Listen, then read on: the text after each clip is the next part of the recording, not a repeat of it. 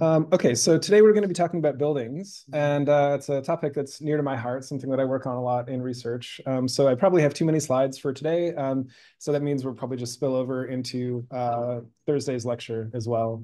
Um, before we dig in, I just wanted to note that um, we have posted homework number two um, so I think good job. Most people submitted and, and did just fine on homework number one. Homework number two has a similar format. Um, it is due on Saturday, February 3rd, uh, which is not the second, which in the initial announcement on, on Brightspace, I, I screwed that up. So sorry about that. Um, the structure of the second homework is similar to the first. It's a couple of kind of, you know, write down equations type problems and then um, a longer coding problem.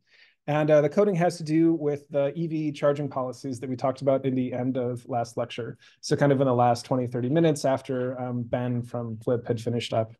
So um, there are three EV charging policies that we talked about in the lecture slides. And two of them, I think one of them is quite easy to code. One of them is, is kind of intermediate and one of them is more challenging.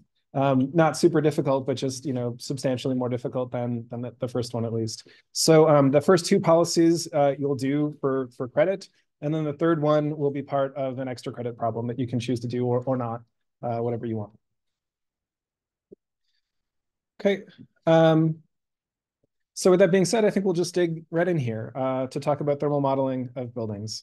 So again, there's a lot of material in here and I probably won't get through it all. That's okay. Um, so we'll start with some background, uh, then go into what are called thermal circuit uh, models of buildings.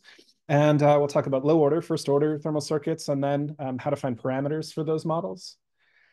Uh, and then we'll talk about higher order thermal circuits, what's uh, actually are, are, usually not necessary, uh, it turns out, but sometimes are, are, useful tools to have in your kind of modeling toolkit. So we'll talk about those and then um, some control strategies for buildings, uh, things like how thermostats work and uh, how you can plug those into building software that you write yourself in MATLAB or Python or whatever.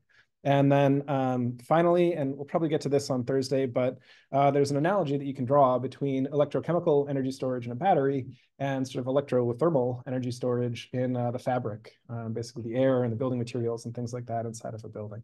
So we'll talk about a couple of ways in which you can view buildings as basically thermal batteries. Okay, so to dig in here first, um, so why uh, why would we focus on thermal modeling of buildings and and not you know modeling lighting and and cooking and things like that? Well, it turns out that the the thermal stuff, basically the the heating, the cooling, the ventilation, uh, the water heating and refrigeration, uh, those things dominate both energy use and electricity use in buildings. Um, so here I've uh, got the percent of the, the usage in U.S. buildings on the y-axis, and on the x-axis here we're breaking it out by end use. And uh, the blue bars here represent energy. So that includes not just electrical energy, but also um, you know, natural gas and propane and heating oil and stuff like that. And then the orange bars are electricity. So you can see that for energy, um, so the other, this is everything else in buildings, is only about one third of energy use. And so the, the HVAC and R stuff is basically the, the remaining two thirds.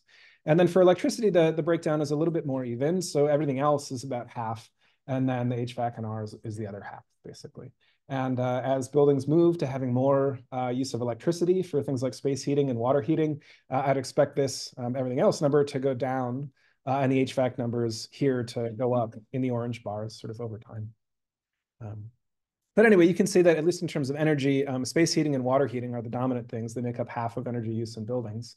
And this is both commercial buildings, things like office buildings, uh, hospitals, uh, factories, and so forth, um, and residential buildings, so um, apartments, homes, condos, etc. Okay, so uh, it turns out that detailed thermal modeling of buildings is, is quite hard. And in my opinion, it's actually usually unnecessary. But this is just a, a sketch of the things that make you know, true kind of physics-based, high fidelity modeling of buildings challenging. Um, so I'm going to walk through this. So first of all, um, you know, we think of like you know, asking a question like, what is the temperature in the house right now? What is the temperature in this room? And we think of that as having sort of just one answer, like, oh, it's 72 Fahrenheit, something like that. Um, but actually the temperature is, uh, is different, you know, closer to a window or closer to, you know, all the computers and stuff that I'm standing by. Uh, right, heat sources will, will change the temperature in the room. And, and uh, also there's vertical stratification, hot air tends to rise. So near the ceiling, it'll be warmer than at the floor and so forth. So actually there's a three-dimensional temperature distribution in this room. Um, so, so we need to function, uh, specify basically a function in order to answer that question. What is the temperature in the room? And that function satisfies uh, what's called the heat equation, a partial differential equation, and, and, and here it's in three dimensions. Um, so alpha here is what's called the thermal diff diffusivity. T would be a, a function of three variables, um, a, a, scalar valued function of three variables. That's the temperature in, in the space. Uh, little t is a time variable, and then you have the x, y, and z space coordinates. And there are various other terms here as well that can have to do with external forcings and, and things like that. Um, so that would give the temperature kind of inside this whole space, which is we think of as being kind of inside of a building. Um, this thing that's drawn here represents basically a window, and this thing over here represents a wall. Um, so coming through the window, we have basically sunlight, shortwave electromagnetic radiation um, that can scatter, can uh, be transmitted, uh, you know, can do scattering over here and so forth. And uh, in general, to understand what was happening with the light coming in through a window, you'd need to do what's called ray tracing. Uh, so understand when this uh, you know, sunbeam scatters off this surface right here, how much of it is absorbed into the, the matter of the wall, how much of it bounces back into the room. Uh, you know, then when it bounces back, does it go through the window or does it get reflected again? And you can imagine how those computations get um, you know, complex pretty quickly, basically. So you got to do optics for that stuff. Uh, there's also thermal radiation. So, you know, we can imagine um, maybe this wall here is warm from all the sunlight that it's absorbing, but the window is cold. Maybe it's cold outside. So there'll be thermal radiative exchange between uh, this surface here, uh, the inner surface of the wall and the inner surface of the window. So some of that heat would get absorbed into the window itself and, and warm up the glass. And then it might re-radiate some of that uh, to the outward um, direction out into the outdoor air. Um, and then there's convection. Um, so if the surface is warmer than the outdoor air, we'll get thermal buoyancy effects happening here. And that'll cause uh, heat transfer basically from the solid uh, into the fluid, the air uh, that's convecting over it. And similarly, we might have hot air hitting a cooler window and uh, convecting downwards uh, on the inside surface there. And we have similar effects happening via convection, um, you know, here sort of at the both surfaces of the, of the wall. And then again, the temperature distribution within the wall here uh, would not necessarily be spatially uniform and would be governed by, again, a, PDE that looks something like this. And then you have sources of heat coming from inside of the room. So um, my body, uh, everybody's body basically is something like a 100 watt light bulb in terms of the amount of energy that we give off to a space. And we do that through radiation and also through conduction, uh, sorry, convection of air that, that uh, you know, migrates over our bodies. Uh, things like lights, you know, uh, the electricity that goes into a light uh, gets radiated around and scattered and eventually ends up uh, as heat.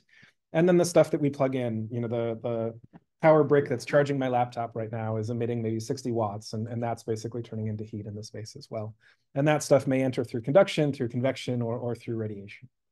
So you can imagine that keeping detailed account of all of those different effects is a challenging exercise, right? The equations may not be that difficult to write down, but specifying all the appropriate data, the, the geometry, the material properties, and all that is, is a challenge. And then solving the equations can also be difficult. So we're not going to do any of that. but there is software that does that stuff for you if that's what you really feel like you need to do. Um, so one of them is called Energy Plus, uh, widely used software developed by the US Department of Energy. Uh, it's an open source uh, simulation tool, and there are a variety of uh, graphical sort of front ends built for Energy Plus. Another is TRNSYS, uh, which stands for Transient System Simulation. Uh, this was developed in the 1970s and into the 80s. Um, and basically before that, most building simulation tools were all uh, operating in steady state. So that was kind of a new thing to, to do the full dynamic equations. And then more recently, with DOE support as well, um, researchers have developed what's called the Buildings Library for a tool called Modelica, so has anybody used Modelica before? Uh, so we've got one one Modelica person in here. Um, so you know, Modelica is basically a, a, dynamic modeling language that can solve ODEs and PDEs and, and coupled nonlinear equations and things like that. Um, it's a pretty powerful tool, and the buildings library basically has canned components that can plug into those tools and so forth. So um, these programs are, are, broadly applicable and, and they're very powerful. Um, they have, you know, solvers under the hood that have, you know, a lot of smart people have put a lot of time into optimizing. Um, but they do require many, many parameters. So if we think about just this room, you know, specifying all the parameters that influence heat transfer in here, you'd have to think about, you know, what is the wattage of the light bulbs? What's the thermal conductivity and the emissivity and the absorptivity of all the surfaces? uh, what are the geometric orientations, right? Like how long is the room? How wide is the room? How tall is the room? What are the areas of the windows and things like that? So quickly, uh, the task of just specifying all those numbers uh, gets difficult, and specifying them accurately uh, gets even more difficult. Um, so ideally, what we'd like to be able to do is maybe fit some of those parameters or some kind of simpler representation of the basic parameters um, using data. And it's quite challenging to do that with these uh, you know, high-powered simulation tools. Uh, they can also sometimes be slow. Um, so they're solving coupled nonlinear PDEs in general, and that can be a challenging numerical uh, task. And they can be difficult to integrate with other software. Um, there are tools, kind of bridge uh, tools that allow integration of all of these tools with other software for uh, doing things like, you know, statistical fitting of models, um, optimizing parameters or operation of, of models. But um, but it's not sort of natively an easy thing to do. So um, in this class, the approach that I'd like to take basically is to use simpler models that represent kind of the core of the physics in buildings without getting into all that super detailed um, calculation. So the idea here is I don't want to teach you everything there is to know about building physics, right? I want to make you dangerous, right? I, I want to give you the ability to like simulate something and have it look pretty reasonable, to have a model that you can fit the parameters of and have it reasonably represent something that's happening in the real world. So, okay, so let's talk about how to do that. Um, so the basic tool, or, at least one of the basic tools for kind of simplified modeling of, of heat transfer in, in buildings, also you know refrigerators and, and other devices, um, is, uh, is to use what, what's called a thermal circuit. And uh, they operate by analogy to electrical circuits, with temperature playing the role of voltage or electrical potential, uh, heat playing the role basically of charge, or if you like, the flow of heat playing the role, the role of current. And then uh, there's a clear analog between uh, resistance on the electrical side and on the thermal side and capacitance as well. And so the basic idea of these models is that um, differences in the, the potential, the, the temperature, uh, drive differences in heat flow, just like differences in voltage within a circuit drive current flow, charge flow, or, or current. So, so here's basically the, the simplest um, circuit that can reasonably represent what's happening inside of a, a room or a building. And it's called 1R, 1C. So that just means one resistor and one capacitor. And uh, you can draw it just like you draw an electrical circuit. Uh, so here we have ground. Um, this capacitance basically is an energy storing element. So you could think of this as the, the air uh, inside of a room. T, so this is just kind of one measurement of the temperature. So you could think of this as what maybe that wall thermostat over there would be measuring. R, this is the thermal resistance between that uh, node T and then theta here, which kind of denotes a, a generic boundary temperature. Um, so for the example of this room, that theta might be the outdoor air temperature, 35 Fahrenheit or whatever it is. Uh, and then this here represents basically a battery, um, saying that we're going from the ground uh, up to whatever that is, the 35 at the boundary there. And then this module over here is a, a current source. And so we have Q uh, from, I've broken that into C for, for controlled equipment, and then E for exogenous sources, things that aren't uh, controlled, basically. And so we have heat transfer happening from both of those. Um, okay. Yeah, so the units on these things, so typically we'd use Celsius or centigrade for, um, for the temperature, and then R would have units of temperature divided by power, so degrees per kilowatt. And then the thermal capacitance would have units of energy per um, degree, so kilowatt hours per degree Celsius typically. And then these Qs, the low, lowercase q's, um, so in like a thermodynamics or heat transfer class, you'd probably write a capital Q with a dot on it to represent the rate of heat transfer um, in units of kilowatts or something like that. And here, just to keep notation a little bit lighter, I'm just using a lowercase q. Uh, typically, lowercase q in a heat transfer class would be like a heat flux, like a watts per square meter kind of a thing. Uh, and, and we don't really need, need that in this class. So. And anyway, so this QC, this is going to come from, you know, the, the radiator in this room or the air conditioner that might blow cool air through those ducts. And then QE, this is coming from sort of everything else. So this is body heat. It's the heat coming off of lights. Um, it's uh, maybe sunlight coming in through the windows if we happen to have any of that today and so forth. Okay, so we can write down governing equations for this first order thermal circuit. Um, and so basically we have analogs to, to Ohm's law and um, to uh, Kirchhoff's laws or Kirchhoff, Kirchhoff um, for, for circuits. And they carry right over from the world of electrical circuits into the world of thermal circuits.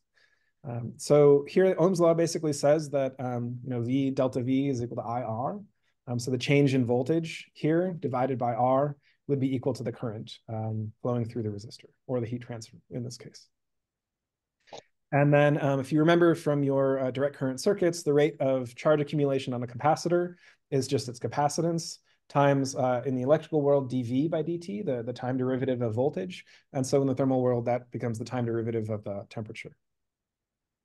And then if we use uh, Kirchhoff's current law, which basically just says at any node, the sum of the currents going in equals the sum of the currents coming out. So if we apply that at the node up here that we've labeled with a capital T, we get that the current inflow, so that's just this stuff on the left-hand side, it branches in two directions. And so one of these is given by Ohm's law across the resistor, and the other one is given by the rate of charge accumulation on the capacitor, because that's equal to the current that's coming into this plate of the capacitor. Okay, so then we can just write down those equations. We have a QC plus QE on the left-hand side. We have a delta T divided by R plus a C uh, times the time derivative of T. Oops, and this derivative here, this should be a lowercase t not a capital T. Okay, so we can rearrange that and, and put the state variable, the temperature on the left-hand side, and then we get basically a, a first-order linear ODE, um, just like we uh, you know, talked about in the last couple of weeks when we were doing the modeling and the simulation, and, and just like we did for the, the batteries section last week. So um, I may or may not actually give you this as a homework problem because there's one this week for the, the batteries section that's very similar. Um, but basically, um, if you have uh, piecewise constant input signals, so the theta and the Qs, uh, and a constant time step, you know, delta t could be a minute or an hour, or something like that. But as long as it's not changing from one time to the next, then we get this nice clean discrete time uh, equation that represents the dynamics of the building or the room. So the new uh, temperature, rather, is just equal to a constant A times the old temperature plus one minus A times the resistance times the heat essentially that's being injected into the space. And uh, that's broken out into the controlled component and then W, uh, a sort of disturbance term that I've written down here. So that's equal to this heat from exogenous sources, again, sunlight, electronics, lights, bodies, etc., um, plus uh, theta divided by R. And it turns out that if you take temperature and divide it by uh, thermal resistance, you get units of power. Um, so this works out here. Uh, and the parameter A here, um, so this just comes from solving the underlying uh, linear differential equation. So A is just e to the minus delta t divided by the time constant um, associated with the, the model, which is just R times C. So if you go back and look at the units of R and C, you can see that if you multiply degrees per kilowatt times kilowatt hours per degree, you get hours. And so that's a, a thing that has units of time and it, it enters as a, a, time constant in the, uh, the differential equation.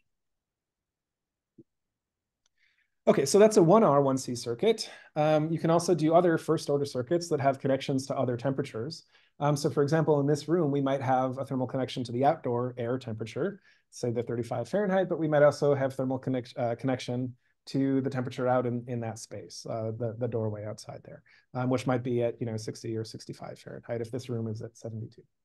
So we could add that um, as an additional temperature um, alternatively, we could say that the air in this room is thermally connected to the, the thermal mass of the stuff, the concrete in this case, the cinder blocks that, that make up the, the beautiful construction in this classroom. And uh, so we could specify a temperature for that stuff. It's probably on that wall, you know, cooler than it is uh, in the room. And on this wall, it might be, you know, roughly the same temperature as, as the indoor air. So anyway, we can specify a mass temperature and an outdoor temperature, and then we could have thermal resistances connecting the indoor temperature T uh, to each of those. And then we have, um, again, our, our R's and our C for the space uh, hasn't changed. And the interpretations here of the QC and the QE also haven't changed. And so in this model, um, all the heat injection is coming into the air in a space.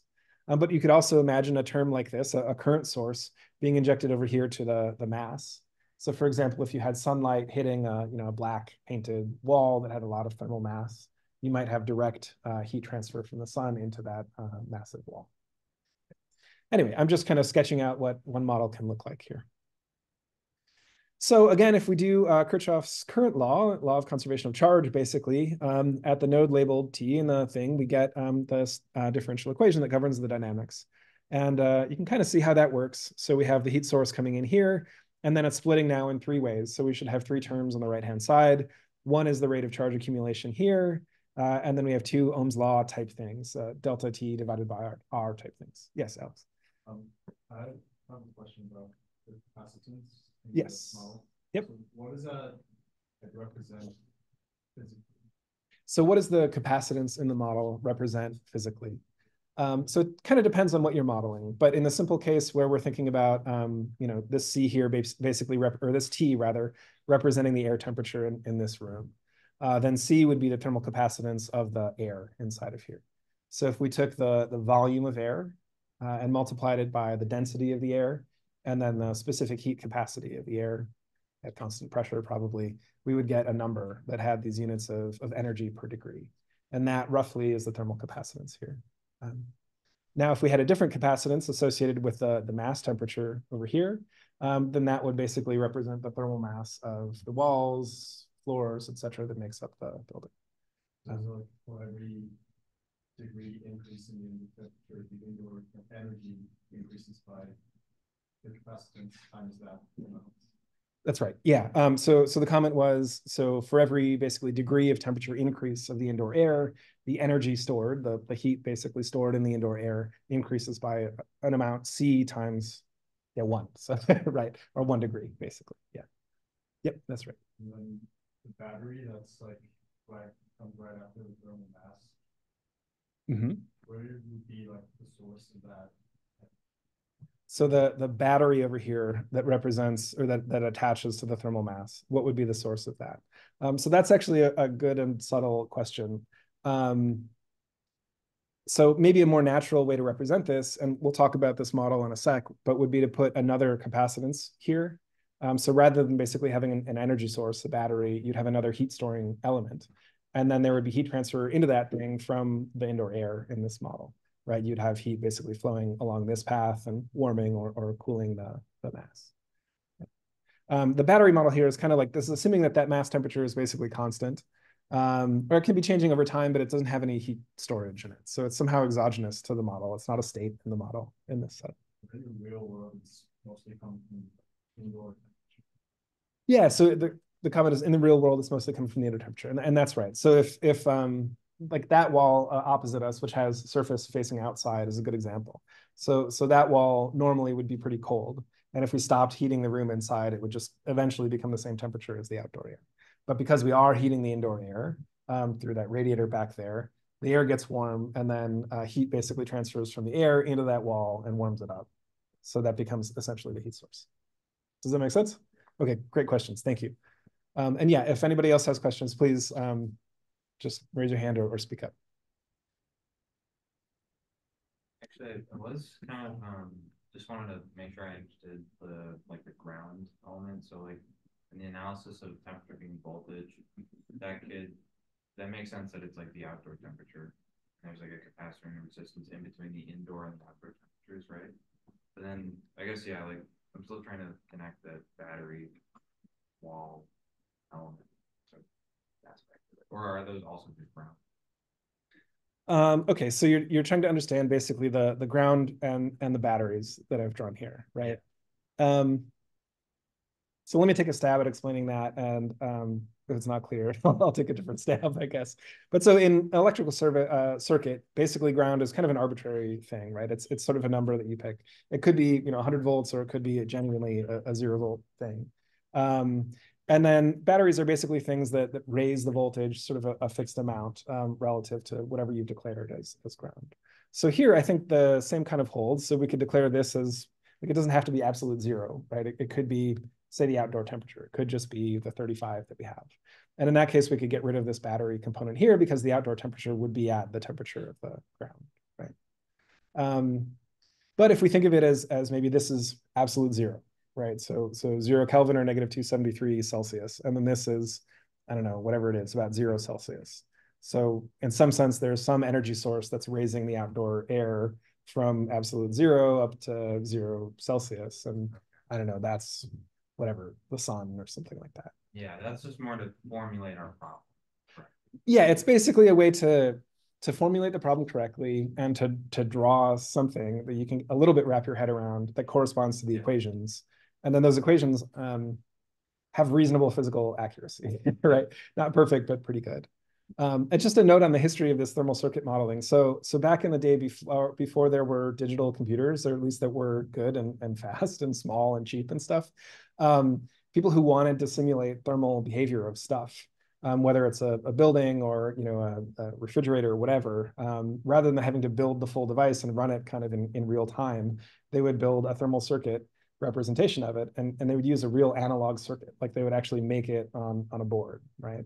Um, and then they would get the voltages and the resistance tuned just right so that they you know represented kind of a scaled version of, of the device that they were simulating.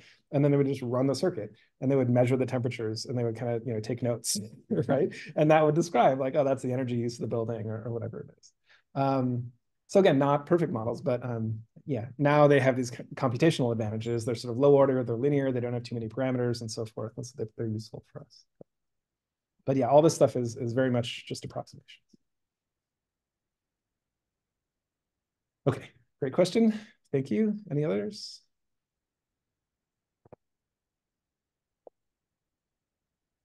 Okay, so here's our governing equation. Um, and I think you can convince yourself that, you know, after you rearrange some terms, this kind of falls out of, uh, of the circuit model.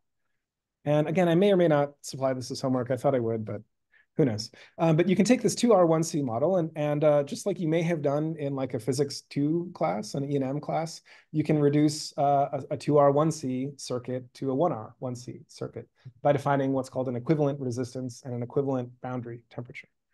Um, so here we can turn this thing, which has, you know, whatever three terms on the right-hand side to something that just has two terms, uh, one delta T divided by R term, and then one kind of heat transfer forcing term. And so, you know, you can show if you do a little bit of math that uh, the R that shows up in here is the product of the R's between the, the air and the thermal mass and the air and the outdoor, indoor air and the outdoor air, uh, divided by the sum of those R's. And then the theta is basically a mixture, a weighted average of the two temperatures, the temperatures of the thermal mass and, and the outdoor. And so in this way, we can take kind of a, a higher order um, model with more parameters and we can streamline it and simplify it and, and represent it with that first uh, order 1R1C circuit that uh, I showed on the last slide. Okay, and then it turns out you can do a similar thing with an arbitrary uh, number of boundary temperatures. As long as you just have one energy storing element, you can always reduce it to basically a 1R, 1C model with an appropriately defined boundary temperature and, and resistance. So here, um, the C, again, represents basically the energy storage uh, uh, capability of the, say, indoor air, if we're talking about a room. And then T would be, you know, again, still just what's measured at a, at a thermostat. And all this stuff would be, you know, the sunlight, the body heat, and, and the, you know, heat coming out of the radiator and things like that. And then now we have connections to a number N of boundary temperatures. So this T1 might be the outdoor air, uh, the Tn might be the air in the hallway. We might have a thermal mass temperature for this wall and another one for that wall and one for the ceiling, one for the floor. And so you could have an arbitrary number of these things. It could be five, it could be 5 million. Um, and then uh, you can write down, again, from doing just a, a current balance, or charge balance at, at this uh, node, you can write down basically that um, this thing coming in equals all the currents that are flowing out. And the flowing current flowing out down here is again equal to the rate of charge accumulation on the capacitor. And so we get this uh, ordinary differential equation. It's first order, it has one state, t, with no subscript, and then it has a whole bunch of boundary terms, all the ti's. And uh, again, maybe maybe for homework, maybe not. Um, but if you do a little bit of algebra, you can again show that uh, you can reduce that to the basic kind of canonical 1R, 1C model that we started with. Um, so if you define R, again, as the product of all the little r's divided by uh, this stuff in the denominator here. And then uh, theta, again, is a weighted average of all the temperatures kind of weighted by these products of, of resistances. So this is a little more involved to show, but, but still not uh, terribly. So anyway, the point is that this 1R1C model is actually really powerful. Uh, it can represent and model actually a, a wide variety of stuff. Um, the basically, the only limitation is that um, you kind of are only thinking about one heat storing element. If you really care about two heat storing elements, like the air in two rooms, or you really care about the heat that you're getting in the thermal mass of the space, um, then you want more of these capacitances uh, in the model, and that'll lead to a higher order of your differential equation. And we'll talk about that in, in just a sec. Okay, but before we get to these higher order thermal circuit models, which you know are somewhat more complex, and in my view, often not necessary, um, but a, you know, a good tool to have in the toolbox. Um, but before we get there, I want to talk about um, basically how we get the R's and the C's and the Q's that show up uh, in these models. So there are kind of three flavors, three types of parameters that show up in these thermal circuit models. We have a thermal resistance. And this one I think is actually the most challenging to specify accurately. Um, so our TA, Priya Darshan, is working on a, a large modeling study uh, that involves looking at thousands of, of buildings and the impact on switching all the you know heating and the space heating and stuff like that, the driving that people do in those uh, communities from gasoline and natural gas over to electricity. And uh, one really challenging thing that we found in that modeling study is getting appropriate values of this thermal resistance R, um, because it's really influential on what the simulation results look like. So um, we'll talk in some detail about that. And then there's the thermal capacitance C, which is usually easier to specify as long as you know kind of the materials you're looking at and, and the shape of them. Uh, and then there's the Q uh, from exogenous sources, again, sunlight and uh, body heat and so forth. And, and that one is usually not too bad to specify. So let's talk about R. Um, so typically you can model R if we just think about the 1R, 1C model. And if we assume that the, the theta, the boundary temperature, that that thing is the outdoor air temperature. Um, so then you can model R reasonably well as the reciprocal of the thing called U here, which is the thermal transmittance or, or U value times A, where this A is the outward facing surface area of uh, basically the exterior surfaces of the, the space or, or of the building. So here A would have units of square meters, and then U, uh, the transmittance has units of power divided by temperature times area, basically. Okay, um, so we basically need to figure out what's a reasonable value of A and what's a reasonable value of U. And A will come from basically geometry. Uh, and I'd like to kind of simplify that geometry so that it becomes a function essentially only of things that you can get uh, by basically just conversation with someone about a building or from looking at Google Maps or something. So basically we want to boil down this uh, area, wall area, uh, as basically a function of just the floor area. Like if you ask somebody how many square feet is your apartment, they might say, oh, 500 square feet. Like that's a number that most people know, or that you can get from looking at, you know, uh, Street View or whatever on, on Google Maps. And then, uh, and then something else, which is how many stories are, uh, is the building. So again, something that's easy to find. Um, and then U, this thing comes from just knowing a little bit about building materials, basically. Um, so two interesting things, important things to know are, uh, are the U value for windows and for the sort of non-window, the opaque parts of walls. So, um, so triple pane windows have the lowest U. So U basically represents how, how conductive something is. Um, so it's sort of the reciprocal of the insulation or the R value. Um, so we get about one watt per degree square meter. And note the usage of watts here, not kilowatts. So all the other stuff that I described was in kW. So when we take these numerical values, we always have to convert them to kW first before plugging them into formulas. Um, anyway, uh, U of about one for a triple pane window. So three panes of glass, typically separated either by some insulating clear material or just a uh, vacuum. And then that includes the, the framing, so like the plastic or the metal or whatever that goes around the window. And that's pretty much the best you can possibly find. So triple pane with what's called a low E or low emissivity coating to decrease basically thermal radiation uh, heat transfer through the window um, gets you to about U equal one. And then the worst you can find is a, a single pane window, um, you know, with a metal frame, probably something like that ends up being about six uh, watt per square meter degree. And then um, framed and insulated uh, walls, you'd expect to be significantly lower uh, heat transfer than windows, so less conductivity. And that ends up being the case. So kind of the best you can find for a wall that's basically pure insulation and, and pretty thick insulation is about 0.2. And then kind of a typical wall, um, you know, might be in the middle there. And, and, and the worst you'd find is kind of order one uh, watt per degree square meter. So here is just a picture of what a typical wall assembly for uh, a house might look like. Um, so these are you know, what are called the studs. And they're typically two by fours or two by sixes, which are not exactly two inches by four or six inches. It's like some smaller measurement, but um, anyway, it's roughly two inches by maybe six inches or four inches or, or six inches of depth.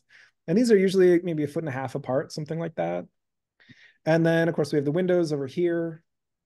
And in between the studs is typically some form of insulation. And that could be, I, I, don't know, I got this from a, a, website about rock wool. So it could be rock wool or it could be, um, you know, some kind of plastic or, or um, I don't know, a manufactured material. And then there are typically holes in the insulation for stuff like wiring. So you can see here, um, and this might be, yeah, I think this is conduit for electrical wiring. And there are holes for, you know, outlets and stuff like that. So those things act as what are called thermal bridges. Um, so basically the conductivity of, of wood or of metal is a lot higher than the thermal conductivity of, um, of the insulation. So heat, you know, prefers basically to flow through places where the conductivity is better. And so you get more heat transfer through, for example, the studs than you get through the insulation.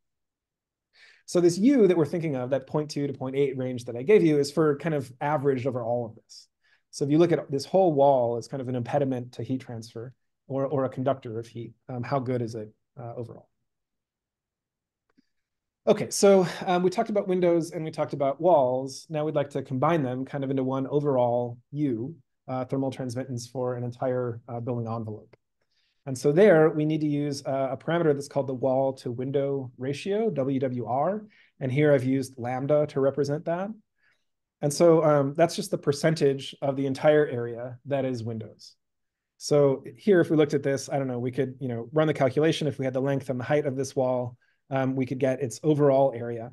And then we could, you know, do the same thing on the windows, and we'd probably include the window framing as well. And then that would give us the ratio of the window area to the total area. And so that would be lambda. Okay, so if you know the transmittance for the window and for the wall, then, and if you know the wall to window ratio, uh, then you can combine them using this formula to get the overall U for uh, the, the entire wall assembly, including the windows, the framing, the insulation, the conduit, all that stuff.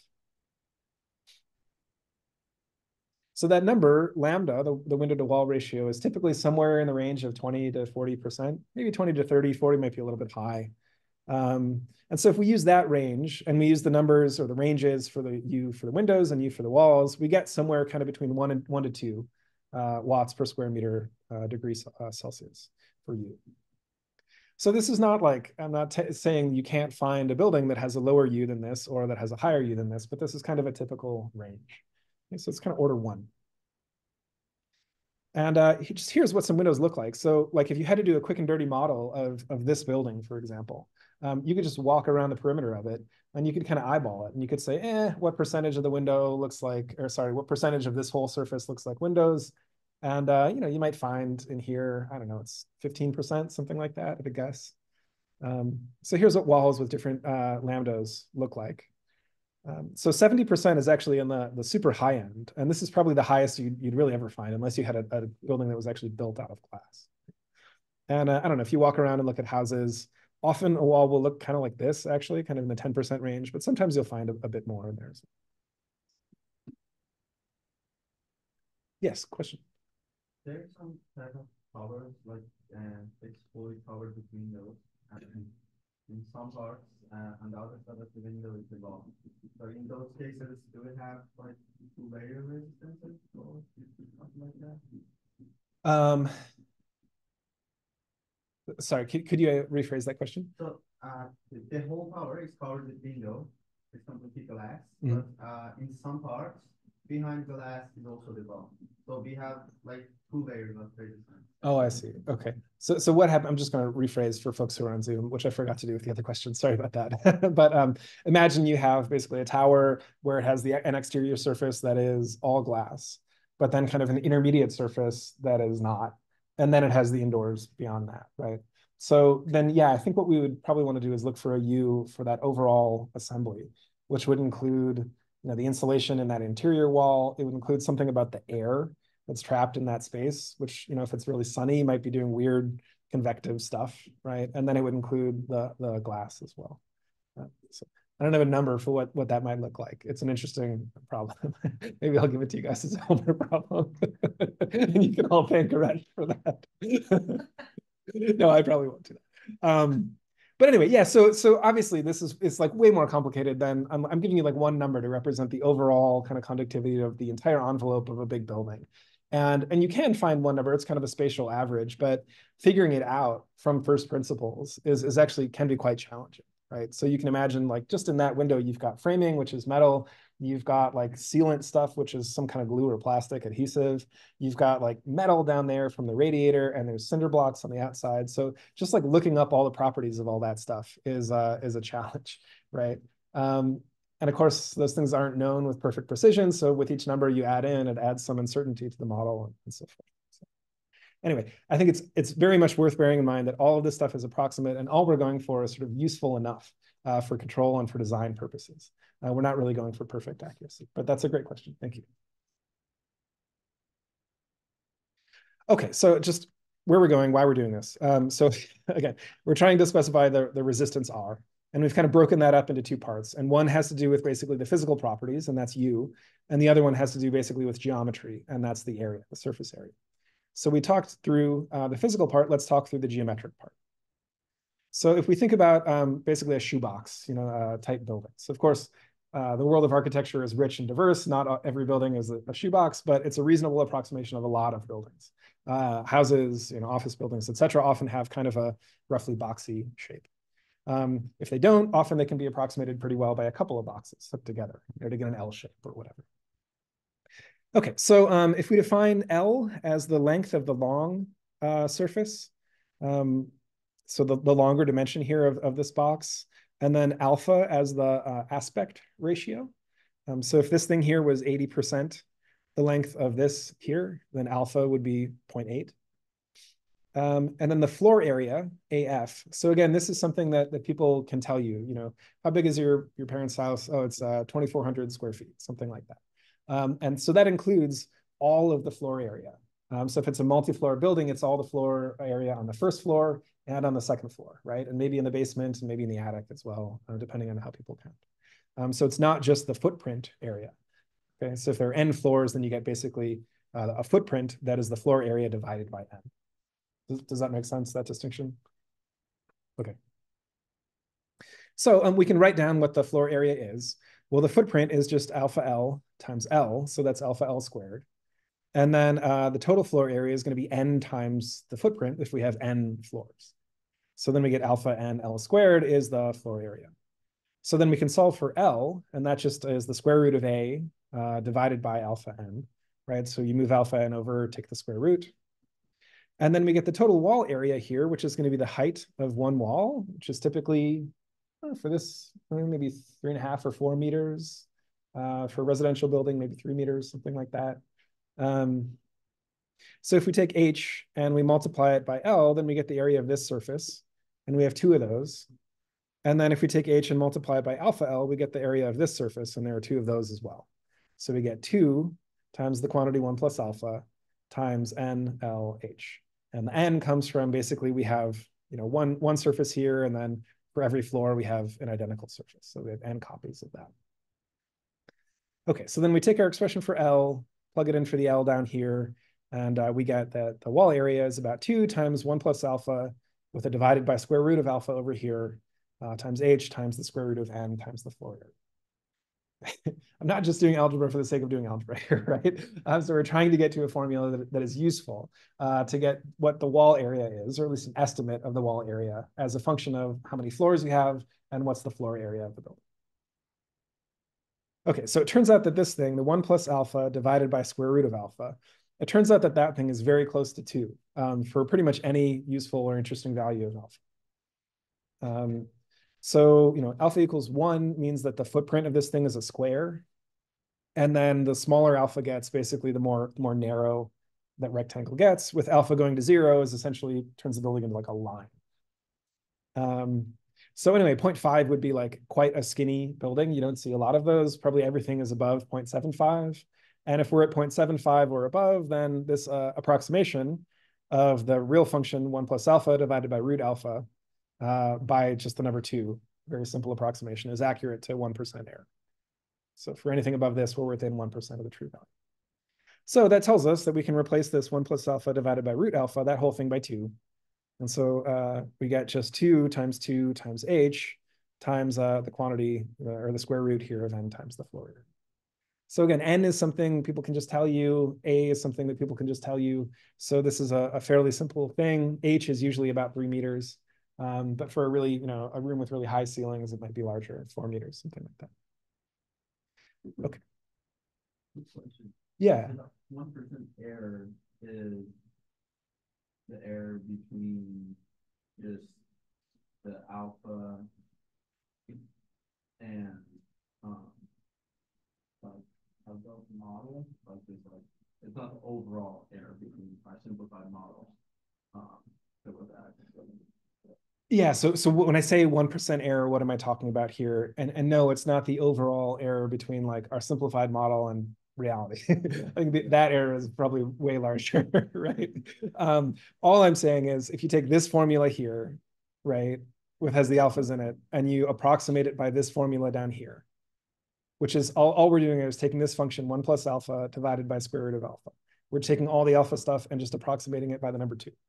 So um, in that approximation, that is accurate to within like 1%. So it just simplifies the formula a, a, little bit. We still have all the other simplifications and inaccuracies and so forth. Yes. This might be a silly question, but no do you take into account the ceiling? Yeah, okay. So that's actually a really good question. And I thought about putting another slide in here um, for you or for the hypothetical you who would ask that. Um, so we're not, uh, so the question is basically, what about the area of the ceiling? And I guess the area, the area of the floor as well, right? So um, why are why am I not including that in in this estimate? Um, okay, so of course, in reality, there is heat transfer through roofs, and there is heat transfer through foundations of buildings, right? Um, but typically, so the foundation is in contact with the ground, which is usually uh, at a much more stable and mild temperature than the outdoor air. So maybe even in the middle of winter, you know, a couple of weeks ago when it got down to whatever, negative five Fahrenheit here. Um, the ground, if you go, you know, 10 feet down, the level of a foundation, um, it's probably 50, you know, 45, 50, 55, something like that Fahrenheit. So the delta T is just smaller, basically. Um, also, usually there are no windows. We've seen that windows are a lot more uh, transmissive of, of heat um, or better conductors of heat than most building materials, opaque building materials. Um, so the lack of windows means that the overall um, U for those surfaces is going to be smaller. So smaller delta T, at least for the ground, and no windows, so smaller uh, U, means that the heat transfer through those surfaces is smaller. Now, is it negligible? No, probably not. Um, you know, not if you're trying to get really accurate. Um, but like nothing that we're doing in this model is accurate enough to, to get to sort of, you know, the, the single digit percent errors where an approximation like that, I think really matters. Um, depending on the shape of the building, the, the roof losses might be more significant. So if you have a single story building with like, you know, a square footprint, then the ceiling area, the roof area is actually going to be um, bigger probably than, than the, um, the vertical surface area. So, um, so why are we neglecting that? So in that limit of, you know, one story building, maybe it makes more sense to actually take into account the floor or the roof area as well. Um, but again, we get the fact that roofs are um, opaque. So there's no typically no windows unless you have skylights, uh, which are somewhat unusual. Um, it's easy to just like throw a bunch of insulation into an attic. Um, so if you look at the R value of the insulation that goes in attics compared to walls, it's usually like three or four times higher in the attic. Um, and then there's a, a, subtler point, which is that um, if you look at the called film coefficients in a heat transfer class, but basically the, the coefficient that relates um, a delta T, uh, say between the air and, and a surface here, and, uh, and the rate of heat transfer from a surface into the air by convection. Um, so those, those coefficients are much bigger. So uh, for vertical surfaces, basically because you have thermal buoyancy effects that drives currents, uh, convection cells over vertical surfaces, and you don't really get those over horizontal surfaces. So that means that heat just doesn't transfer away from roofs as quickly as it does from walls. Too. Yeah, so there's a bunch of pseudo answers to your question. Um, but you know, if you wanted to be really accurate, you would also take into account the the I think at least the roof and maybe the roof and the floor as well. Does that make sense? Okay. All right. Um, okay, so basically we have the, the wall area and we have the U from the previous slide, and I'll show a summary in a sec about how those uh, merge together to get us basically a reasonable range um, for the R value, the thermal resistance. And then the capacitance is usually easier. Um, so as long as what we're talking about is the air inside of a building, um, which for controls, usually that is what we mean by you know the indoor temperature. It's the thing that gets measured at a thermostat. Um, then we can pretty reasonably model um, the thermal capacitance as uh, the density of air, rho, uh, times the specific heat value at constant pressure, Cp, uh, times the volume of the space. So rho CV basically. And uh, yeah, rho and C, these are basically just constants. They do have some dependence on um, the temperature and, and, the pressure of the air, I guess ma mainly the temperature. Um, but uh, but at you know reasonable kind of room temperature values, they're they're pretty much constant. And then V is the, the volume enclosed um, by the surfaces that we're looking at. And so that's just the floor area times um, the height H of, of one floor. Okay, um, so if you just run those calculations and then you put them into a model, you typically get a sort of a model that responds unreasonably or unphysically fast to changes in things like you know, sunlight or outdoor temperature or what you're doing with the heating or, or cooling equipment. Uh, and the reason for that is that there's some unmodeled thermal capacitance typically. Um, so if we only look at the air, we're missing material that is like pretty tightly thermally coupled to the air. Um, so for example, like uh, whatever it is, steel or aluminum that's making up the vents uh, that heat is coming through. So those are roughly, you know, um, isothermal with the air in here, but they have significant thermal mass of their own. Um, also, if you looked at the first, you know, maybe centimeter or something like that of this chalkboard or of any of these surfaces, you'd probably find that those temperatures are pretty close um, to the temperature in, of the air.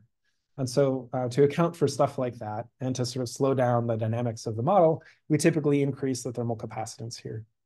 And so if you look just at, at empirical studies of actual buildings, you typically find that a C value that works pretty well, that matches the data, the real behavior of a building pretty well, is usually about an order of magnitude bigger than what you get from this rho CV calculation. So kind of a quick, quick and dirty way to do to, to get the C is basically just to do the rho CV calculation. Again, V is something that's easy to calculate, uh, and then just multiply it by about 10 to 15, somewhere in there. And if you do that, um, you get basically just this number multiplying the floor area over here. And here I've used a value of, uh, of three meters, I think, for the height. Okay, so to summarize the R and the C stuff. Oh, yes, question.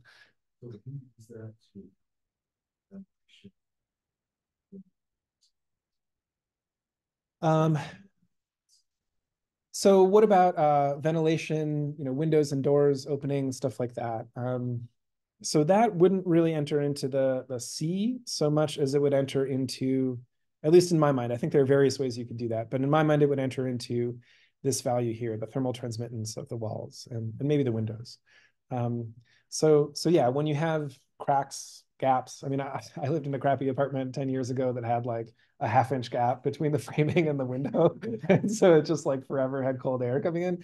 Um, so yeah, that's kind of like, you know, that they call it infiltration. It's basically filtering in of outdoor air, or something like that. Um, and so yeah, that basically is, is another effect. It's driven by the temperature difference between the indoor and the outdoor, and it kind of gets lumped into um, the insulation value for a wall or yeah, that's a good question if you were thinking about um, ventilation rates, like what do you need to keep air fresh inside of a space? Um, uh, in the buildings community, people often talk about what are called air changes per hour or ACH.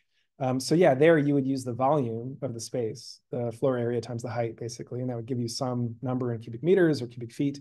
And then you'd say, look, we want two air changes per hour for you know, a space like this, or if you were in a hospital, maybe you'd want 20 air changes per hour, and that would basically get you an airflow rate and you could back out, you know, how big of a fan and how big of ducts you needed to provide that. Does that make sense? you sound a little skeptical. okay, yeah, yeah, we'll chat after class. Okay.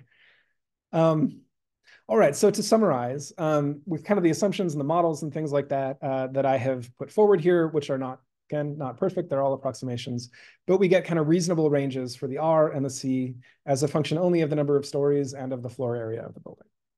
And uh, in here, we're assuming three foot uh, ceilings, which is kind of normal for a residential building. For commercial, often they're a little higher. Um, so that would affect these numbers a little bit. So um, you could multiply this by four thirds or something like that. Um, and you can go back to the original calculations and, and figure out how that would work, I think, pretty easily. Um, but anyway, this gives you reasonable values. And then we talked about the time constant tau, the RC product that showed up in the uh, dynamic model here. Um, so that ends up, you know, if you need to calculate it, being about order one uh, times this, um, and I think I missed the units here actually. Um, but anyway, times uh, the floor area divided by the number of stories. And then if we look at, you know, roughly a 200 square meter house with a couple of stories, um, we have a test house off of campus that we use uh, in our research group. Actually, I think we'll probably do a tour of it um, sometime this semester. And uh, Aaron, who's in the class, lives there, and we'll probably give you guys the tour. Um, but anyway, it has a bunch of the, the DERs that we're talking about in this class uh, in the house. But it's about 200 square meters. It's, it's a couple blocks away from here and it's uh, about two stories. So we might find that we have an R of somewhere around three and a half for a building like that. Um, a little more if it's you know newer, better insulated, a little older if it's you know worse or it has more windows, things like that. C might be kind of around two and a half, something like that. And then the time constant might be around eight hours, roughly. These are all very squishy, very rough, but um, at least it gives you kind of plausible sort of ranges for these things.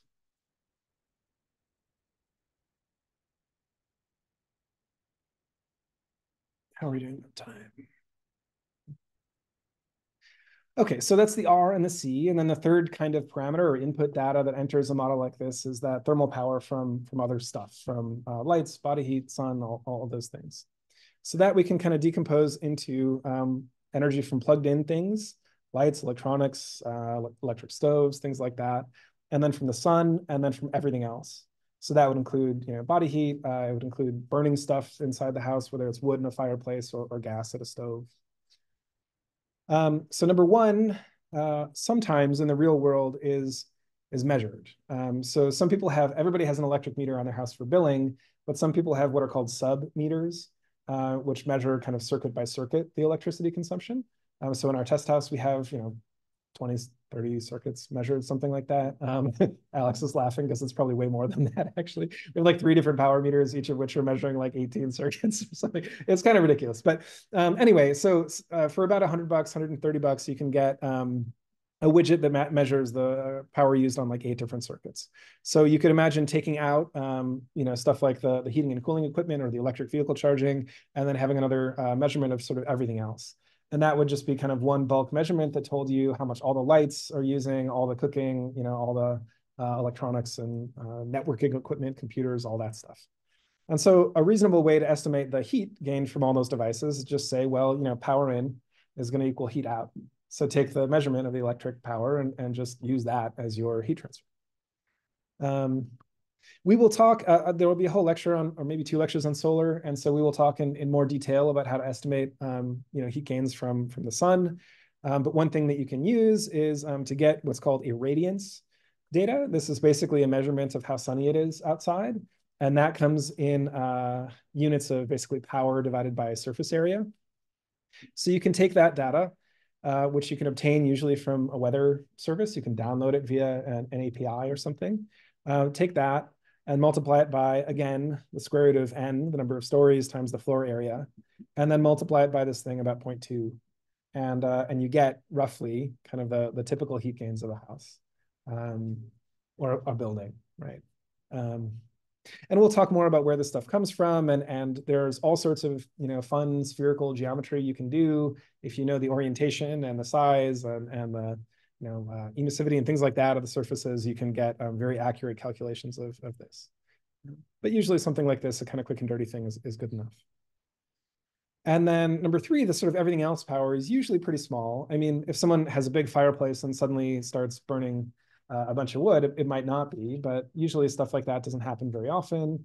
Um, and the kind of everyday, you know, heat gains that you get from um, non-electric sources or things like body heat and those are usually on the order of 100 watts per person.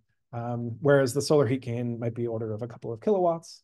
Um, so this is sort of a you know 10% effect, something like that. So they're usually pretty small. So either you can ignore them or you can say, eh, there's five occupants in this building. We'll assume 100 watts from you know uh, body heat and then 100 watts from other random stuff, and just say, okay, about a kilowatt of uh, of heat transfer from those sources.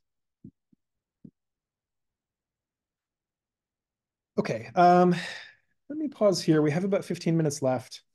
Um, and just ask, are there any kind of big picture questions about what we talked about so far?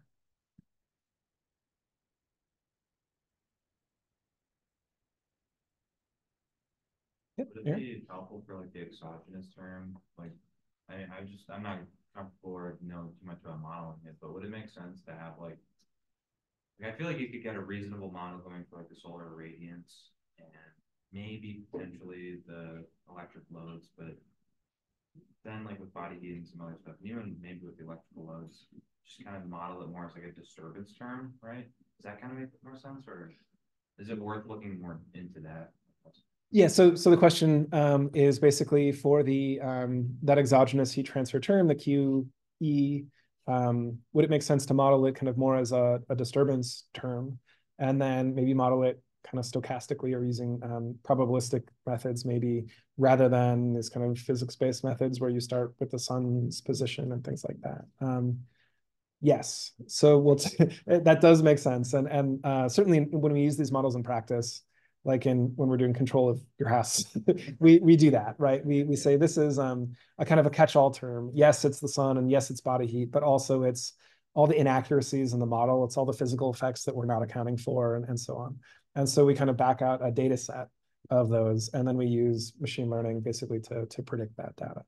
Um, and we'll talk a little bit more about that. We might even do that as a, a sample problem but probably not for a month or so. Yeah. Good good question. Thanks. Alex? Um, when you're calibrating the parameters, like capacitance and like the resistance and all that, do you like manually adjust it and see what works best? Or do you like look at the data and try to go figure that out and building's actually working? Yeah, so I think to paraphrase the question a little bit and correct me if I if I'm wrong. Um, so if you're trying to use a model like this to do something in the real world, like to represent an actual building, um, you probably want to calibrate the parameters, the R and the C, maybe the machine learning model for the Q, stuff like that. You want to calibrate them somehow. So the question is, do you do that calibration kind of by hand, you know, fiddle with the R until something looks about right and then fiddle with the C and then, you know, um, or do we do kind of a data-driven machine learning approach? Um, okay, so the answer is yes, you can do either. Um, and, and oftentimes it's useful to do both. Um, so there are there's certainly a camp of people who work, for example, on building control problems who um, either don't have as much knowledge of like heat transfer effects or else just like don't don't want to worry about that stuff. And they will come up with purely data-driven algorithms to fit parameters like this. And that's perfectly valid and it can work really well. Um, it's also nice, I think, to be able to do at least a back of the envelope kind of physical calculation where you're like, well, how big is the building? is it leaky or tight? You know, is it well insulated or badly insulated? Okay, and then you get kind of, you know, like lick your thumb, stick it in the wind. At least you get kind of, of a, a, directional kind of estimate, right? And then you can compare the two. You can say, well, my machine learning model is telling me I have an R that's a thousand, but I know it should be order one from physics. So like something is weird. And then you go back and you recalibrate your, your modeling process or, or whatever. So um, so yeah, I think it's a bit of both. And I think having the background both in the data fitting stuff and, and in a little bit of physical intuition can lead to better performance algorithms overall. Anyway, that's my take. But of course, I'm biased because I do both. so, um, but yeah, great, great questions. Yes. Oh, Sandra had a question. Um, yeah, Sandra, do you want to go ahead? Yeah, I, I would like to ask you two questions. So the first one would be for the time constant that you calculated in slide 19. So does that have a physical meaning? So those 8.5 hours, does that mean that is the building going to reach thermal equilibrium in 8.5 hours, something like that? Or yeah, so so let me pause you for a sec before you get to your second question. Um, did people in the room hear the question? Yeah, okay, great. Um, so, so yeah, does the time constant have a physical meaning? Um, yes, and it's actually really similar to the, the physical meaning of a time constant in a battery model. Um, so basically, uh, suppose the room is at, um, you know, 20 Celsius and it's zero Celsius outside, um, and then we stopped heating it at all. Um, so the time constant tells us basically how long it would take for the building to drift until it became essentially isothermal with the outdoor air. So, um, you know, we wrote down these numbers in the batteries section, but I think one time constant gets you about two thirds of the way there. In two time constants, you're about 85% of the way there. And in three time constants, you're about 95% of the way there. I, I think that's right. Um, so yeah, a, a, building that has um, a, a, bigger C because it is uh, constructed out of heavier weight materials um, would have a longer time constant and would take a longer time to basically uh, reach equilibrium with the outdoor air. Does that make sense? I see. Yep, yep, yep, that makes sense. And then, so like considering all the assumptions that we did to be able to reach the simplified model, like would you use it to uh, like simulate your building to or like construction or like would you use it just to have an initial estimate of parameters and then use something more robust, I would say, or like what's the extent that we can use this model? Yeah, so what are these models useful for? Um, so it's a good question. So so something that they're, not very useful for, for example, is um, is design. So if you or if I worked for um, like a green building or, or architectural firm, um, there might be engineers who work alongside architects and want to design a building, you know, before it is built. And architects might come up with cool looking stuff, and then engineers might be able to take that and run it through a model and come out with some information about energy performance, right? How much is it going to cost to heat or cool the building for a year? And then they can iterate until they get on a design that basically both looks good and also is going to be, you know, cheap, low emissions, et cetera, to operate. Um, so these models, I guess you could do a, a little bit of that, like on, on co a coarse level, you know how big the building is going to be, um, you know, st stuff like that. But um, but I think you know the tools that I mentioned at the beginning of the class, like Energy Plus and and TRNSYS, um, those tools I think lend themselves a little bit better to that kind of design process. Uh, and there are actually um, kind of graphical front ends, for example, for Energy Plus that architects can use to do some of that energy modeling themselves uh, without an engineer actually in, in the loop. Um, but okay, so that's so I would say not so much for like detailed architectural type design, um, but I think if you want to control a building, that's really that's really the main um, application for a model like this. Is it's sort of um, accurate enough that uh, it can make reasonable predictions of how the building would behave under a different you know scenarios of how you're controlling it. And then, you know, in control, we always use feedback. So you say, my model is okay, but not great. Um, so I'll take measurements periodically and, and change the way that I'm operating the building in order to better reflect reality. Um, so this model, uh, these type of models, these RC thermal circuit models, I think are accurate enough for that purpose. And they get used a lot for that purpose. Um, also, if you think about um, sizing heating and cooling equipment, um, basically the way that that's typically done is, is using, I mean, people who, who do these industry methods for sizing, say how big a furnace should be for a house, um, they may not know that under the hood, kind of what they're doing is based on the equations that I showed you today, but it pretty much is. Um, kind of they use steady state versions of the same differential equations that we're using here. And they do something like estimate an R value and then get basically a heat transfer estimate through the wall. And then they oversize a little bit relative to that estimate. So, um, so things like sizing, uh, design of some uh, mechanical components, um, maybe some ventilation type components, um, and then control. I would say those are the main applications of these models. And we'll do a, bunch of that, by the way, um, not this week, but in coming uh, months. So Sandra, does that uh, address your, your second question? Yes, thank you. Okay. Very good. Um, all right, so where are we here? So there's an example in this that I think I would like to get to, but I don't think we'll have time for it today. So I'm just going to talk briefly about um, higher order thermal circuits. And then I think we'll wrap after this section. So, um, so again, we talked about basically the first order circuits and then how to get model parameters. Um, but what if you have, you know, a control system in a big building, you know, some fancy office building that has 100 rooms, or you're trying to come up with a control scheme or, or equipment design for a skyscraper in New York that has 50 stories, um, something like that. So then it probably doesn't make sense to just say, ah, everything is about the same temperature right? You probably want to think about, oh, some people like their apartments cool, other like them, others like them warmer, and and to have some differentiation between um, what are called those thermal zones. So for that purpose, you might want to use a higher order um, model. And here I'm just illustrating kind of the, the simplest version of a non-first order, so a second order uh, thermal circuit. And here, this looks a lot like the 2R1C circuit that I mentioned before, um, but rather than having essentially a, a battery, a voltage source here, uh, it has an energy storage element, a capacitor, um, corresponding to the thermal mass of the building. So um, we can think of this as a model of this space. Uh, maybe we're uh, forgetting about heat transfer to the other you know, adjacent rooms, and we're just thinking about the thermal mass of all these cinder blocks and, uh, and then the thermal mass of the air. And so all that concrete would be in here and the mass of the air, and then maybe, you know, things like metal and the ducts and stuff uh, would be in the C. And then same deal, we've got uh, thermal resistances connecting the indoor temperature to the mass temperature and the indoor temperature to the outdoors. And here you could put another resistance that would connect the mass um, to the outdoors as well. So if we were thinking about the cinder blocks and the exterior walls, we might want to do something like that. And you can use the same process, basically do uh, a, a, Kirchhoff law, a, a current conservation um, or charge conservation rather at this node, and that gives you one equation. And then you can do the same thing at this node and you get a second uh, differential equation. So the first one looks just like the 2R1C equation. And then the second one here is quite simple. It's just basically, uh, you know, the charge rate accumulation over here, that's our, our CM uh, times the time derivative of the mass temperature. And then the current flowing um, through this resistor uh, is equal to uh, just an Ohm's law type thing, a delta T divided by R. Yes? So for your example of like all the different like apartment rooms in like one building, like everybody wants like a specific temperature.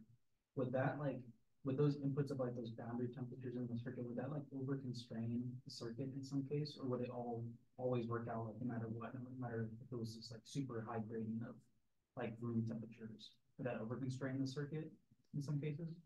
So to paraphrase your question, um, so what if we were in the, the sort of multi-zone, maybe an apartment building type example? Um, so what if, you know, we had an apartment above us, another one below us, and then maybe two on the sides, something like that.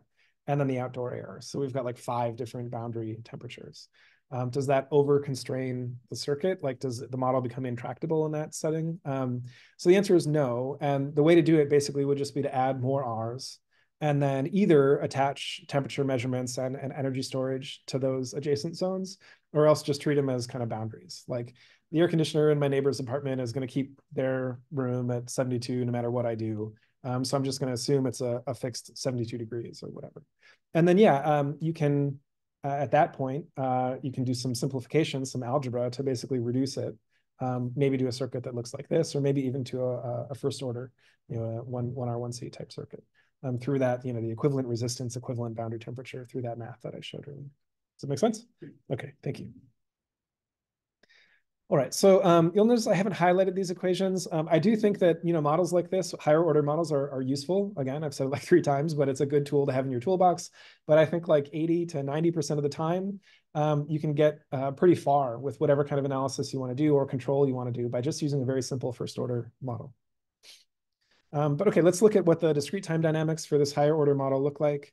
Um, so you can take the governing equations and write them as a system of equations um, where the state is uh, the indoor temperature, the indoor air temperature, and the thermal mass temperature. And then we have these matrices and so forth. And so this has the form of a linear dynamical system. And you can do the algebra to show that, that these are what the, uh, the matrices and, and the disturbance um, should look like. And then in our lecture on linear dynamical systems, we learned how to discretize them in time.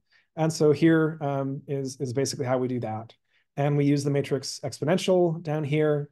And then we've got the definition of our, our discrete time B matrix, which is different from the, the B tilde that, that shows up up here. So this is basically just uh, a special case of the, the general equations that I showed for how to linearize a, a linear, uh, sorry, how to discretize a linear dynamical system. Um, and then, okay, so here maybe we have uh, a new new parameters that are coupling um, the indoor air to uh, the thermal mass. So we need um, a, an R for that uh, thermal resistance, basically between the air and the, the concrete and, and stuff um, in, in, the building. And so that typically an empirical fix is, is kind of about an order of magnitude bigger than uh, the value that you get from C, uh, the air and, and the uh, sort of shallow thermal mass of the building. So CM might be, you might call it like the deeper thermal mass of the building.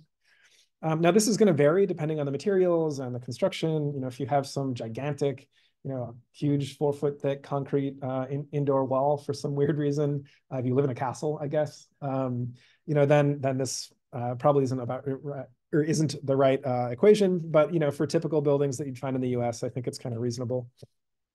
And then um, again, typically we have the uh, coupling between the air uh, and the thermal mass stronger than the coupling between the indoor air and, and, the outdoor air. And the reason for that is we typically insulate exterior walls, uh, but interior walls don't get insulated. And so it's easier for heat to transfer from the air to the, the interior thermal mass. And then uh, if you want a sanity check, you can run this kind of calculation. You know, again, C just basically comes from thermophysical properties of air and uh, the volume, so geometry of the space and then you you know you find C and then you multiply by 10 or whatever to get the CM.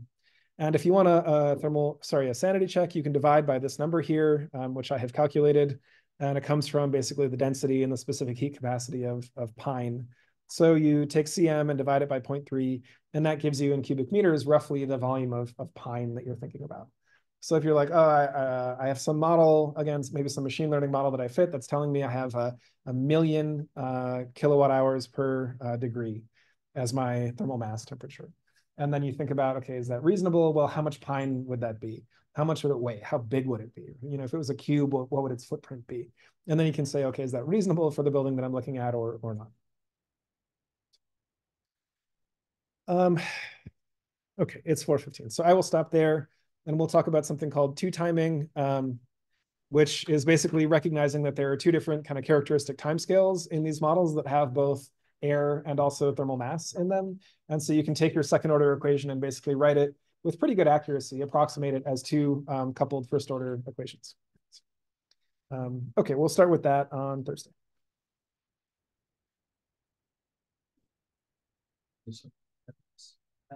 Um,